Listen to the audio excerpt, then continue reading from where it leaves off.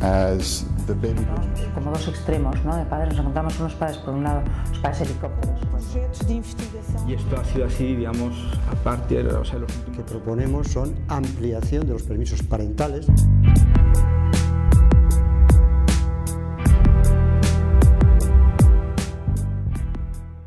El motivo de este informe, o lo que lo originó, fue eh, la necesidad de estudiar el papel del padre en la familia, porque nos encontramos en un momento en el que el varón, el padre, el, hombre está en crisis. ¿no? Decir esto es incorrecto políticamente y es poco comprensible en un momento en el que todavía las mujeres no están eh, en los puestos de trabajo que deberían en igualdad de condiciones que los hombres, o no cobran lo debido en igualdad también de condiciones que, los hombres. Sin embargo, eh, estamos en una, en situación de crisis de la paternidad, como demuestran muchos datos y estadísticas entre otros, por ejemplo, el hecho de que en las separaciones las patrias potestades o las tutelas se den en más de un 90% a las mujeres. También el hecho de que eh, las mujeres, digamos, eh, dominen el ámbito reproductivo, ¿no? con los anticonceptivos y con el aborto, deja la parentalidad en manos de la madre y el padre eh, está ausente o sencillamente, yo creo que el máximo exponente es el uso de las técnicas de reproducción asistida, en las que incluso físicamente se puede prescindir de un padre para ser madre. ¿no? Entonces el padre realmente ha pasado a un segundo plano, está desvalorizado,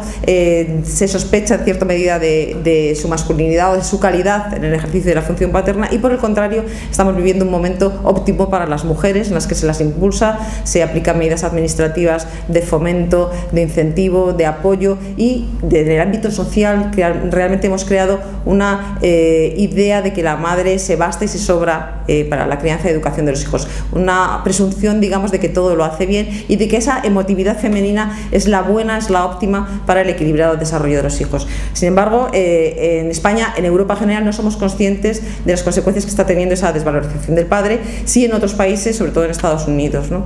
En Estados Unidos se han llevado a cabo eh, investigaciones y estudios eh, a instancia del propio eh, gobierno norteamericano porque se están dando una serie de problemas en las nuevas generaciones, problemas de fracaso escolar, de abandono del hogar, problemas con drogas, de agresividad, etcétera, etcétera, que están demostrando que están muy vinculados a la ausencia del padre. Por dar algún dato estadístico que demuestre eh, este desequilibrio de los hijos sin padre, eh, el 90% de los muchachos que están o han estado en algún centro eh, de, reformatorio, algún reformatorio relacionado con actividades delictivas, pertenecía a familias sin padre, familias en las que el padre estaba ausente físicamente y esto sucedía incluso cuando las madres estaban muy implicadas, ¿no? de manera que digamos que la figura materna no es suficiente para lograr ese, lograr ese equilibrio psíquico de los hijos. Se ha demostrado en Estados Unidos por muchas estadísticas, estudios e investigaciones que la ausencia de padre está eh, o es el motivo de la inmensa mayoría de los problemas sociales actuales. Antes se pensaba que era la marginalidad y la delincuencia y sin embargo se ha demostrado que es el desequilibrio que provoca la ausencia de un padre. ¿no? Eh, pero mm, realmente cuando hablamos de padre no estamos hablando de cualquier padre, habría que también tener en cuenta qué es padre, ¿no? porque un padre no es el que trae los bienes a casa, un padre abastecedor, un padre no es un amigo, un colega de los hijos, eh, un padre no es una madre bis, ¿no? algo que también se tiende mucho en la actualidad a exigir a los padres de muchas mujeres que exigen a los hombres que actúen exactamente como ellas lo hacen, que actúen a, a modo de madre bis, entonces, bueno, pues eh, genera cierta frustración cuando el hombre no puede actuar según sus pautas masculinas de actuación, ¿no? Entonces, bueno, pues nos encontramos con, eh, con ese problema de, de, de, de, la desvalorización del padre, también otro problema serio que es la ausencia física del padre en muchos hogares en, en países desarrollados, especialmente en Estados Unidos, de donde nuevamente extraemos las estadísticas, porque en Europa está habiendo pocas investigaciones al respecto, eh, pues eh, uno de cada tres hijos está creciendo sin padre, ¿no? con las consecuencias que esto trae de desequilibrios eh, psíquicos en general para, para estos hijos. ¿no?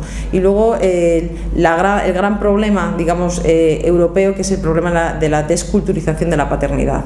Padres que quieren implicarse, yo creo que estamos viviendo un momento eh, fabuloso en ese sentido, en el sentido de que hay, son muchos los padres que quieren realmente ejercer de padres, no, no eh, ayudar a la mujer, sino ejercer como función propia en, con una corresponsabilidad esa función paterna, pero sin embargo están un poco perdidos porque esa figura del padre está eh, desvalorizada, desdibujada, eclipsada, incluso en los medios de difusión, las películas, las series de televisión, eh, huyen de esa figura del de, el hombre con valores que marca unos límites a los hijos y que les indica el camino, digamos, ¿no? sino que son hombres blandos, eh, hombres con una masculinidad muy afeminada que tienden a reproducir eh, los papeles de la mujer, ¿no? cuando lo que el hijo realmente necesita es la alteridad sexual, unas pautas femeninas de conducta y unas masculinas para lograr realmente ese equilibrio. ¿no? Los, las madres, las mujeres tenemos mucho que aprender del código paterno de actuación y los hombres tienen mucho que aprender de nuestro código femenino. ¿no? Yo creo que es una, eh, una relación... Eh, una interrelación para conseguir ese, ese, equilibrio y al final la conciliación de la vida familiar y laboral. Yo creo que la mejor eh, política que puede aplicar o que podemos exigir las mujeres para el ejercicio de la maternidad es una correcta defensa de la paternidad.